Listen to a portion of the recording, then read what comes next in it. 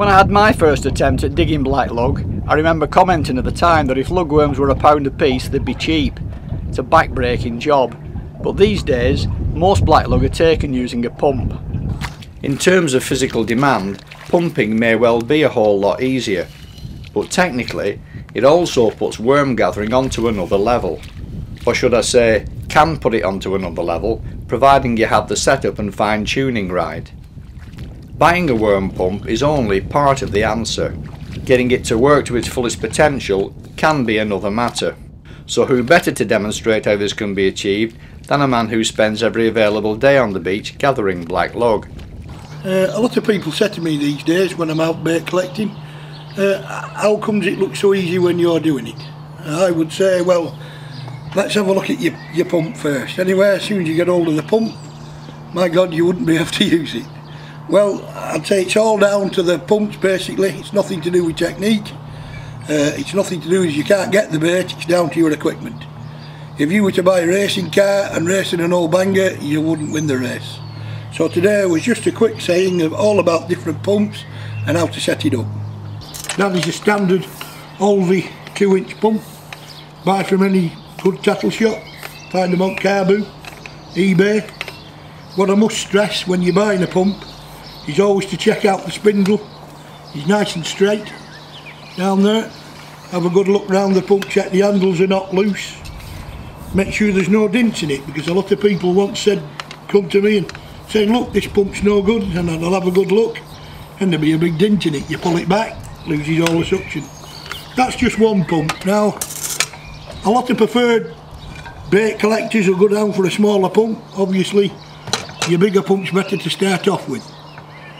Your smaller pump, alright, and, you, and really, when you really get used to what you're doing, you can go down to the really narrow pump.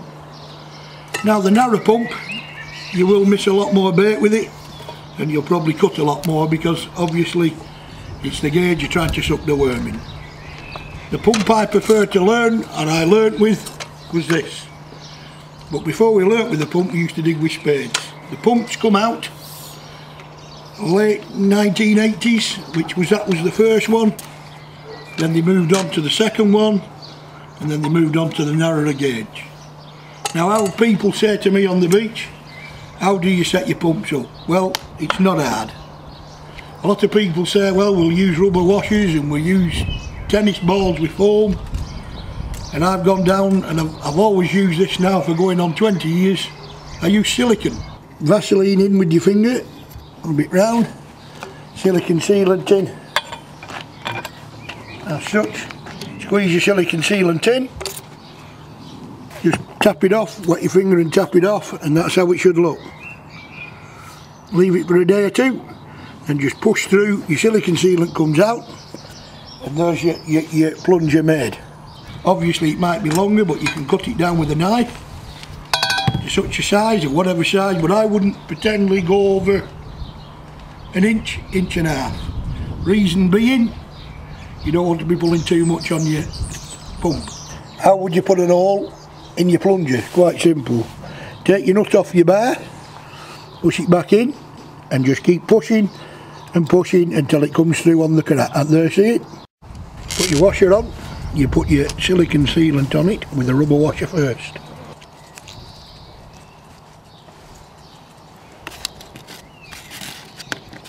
Then another rubber washer and then another rubber washer so that looks like a sandwich. So you've got a rubber washer, silicon sealant, two rubber washers. Now that should fit perfect in your pump.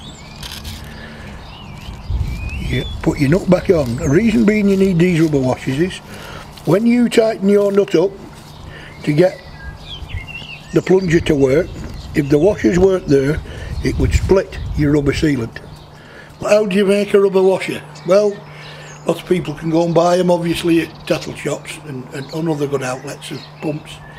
Uh, to me I've always used an old rubber welly which is simple, just cut a piece of old rubber welly and people say well how do you make a rubber welly into a washer? Quite simple, use your pump, put it down and just ease your pressure onto the pump until you know you're through, you lift it back, you push it off and there is your rubber washer, all done should be exact same size as your pump. That will save you a lot of money.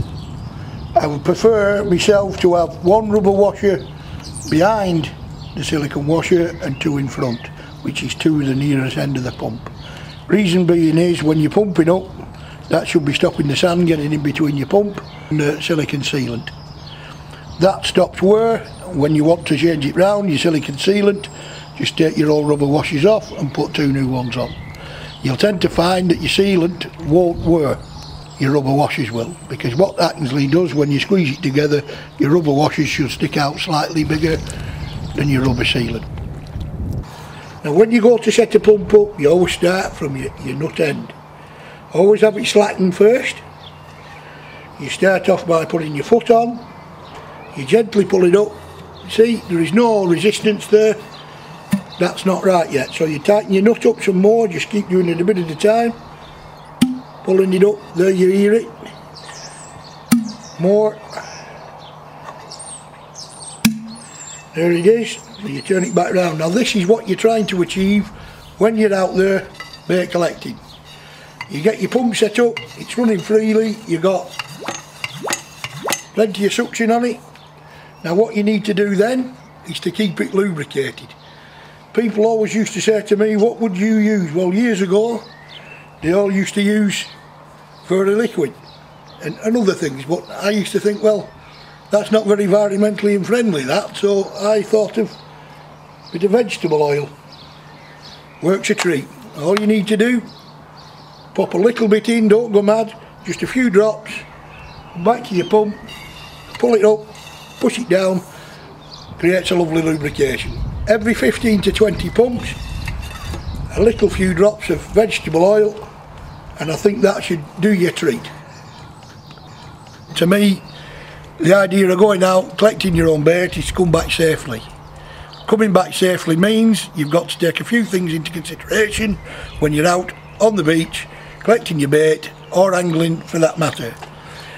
A lot of people once said to me that should I or should I go out in the dark? Well, it's not advisable for your first time. Your First time is advisable always to go with somebody, your fishing friend or somebody you know or somebody you might meet on the beach. It doesn't really matter. The matter is that you've got to be safe and you've got to get back. Now somebody said to me, well how would you find your way off the beach in the dark if the fog come down? I said, well years ago we used to have to rely on compasses stuff like that. But we've now got a remarkable little machine which a lot of boat people will know, a lot of walkers will know, which is a Garmin GPS. These are quite simple to find. You can go to Argos, whatever, £49, whatever, eBay, go where you want. And when you buy it, make sure you learn how to use it. In the pocket, switch it on, where you go. Fog comes down, any problem whatsoever, you go back to that, you're there, it'll take you straight back to where you come from. And don't forget now to always carry a spare set of batteries because if your battery goes on it, it's no use to you. And the other traditional old thing which has been out now for a few years, well many a lot of years, is a mobile phone. For all the hard work and effort to be worth it, knowing how to prepare and store your hard-earned bait is also crucial. Unless requested otherwise, Eddie likes to roll his worms in either sawdust or sand before wrapping them well separated in newspaper ready for the deep freeze. And if they have to spend any time in the freezer, they also need to be put into plastic bags with the air drawn out to prevent drying and freezer burn. If you can get them vacuum packed, then so much the better. Current attention is also important out on the beach where they need to be gutted by squeezing the head then kept in a bucket riddled with holes to let any water or body juices escape. And just before leaving the beach, they should be washed thoroughly in clean seawater. Back at home, spread them out on newspaper in the garage and leave them to dry for an hour or two, then go into the wrapping process.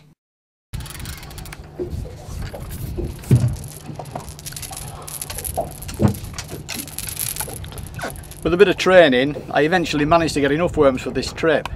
Eddie and Jack on the other hand managed over 700. Evidence, if ever it was needed, that having the right equipment is key to success.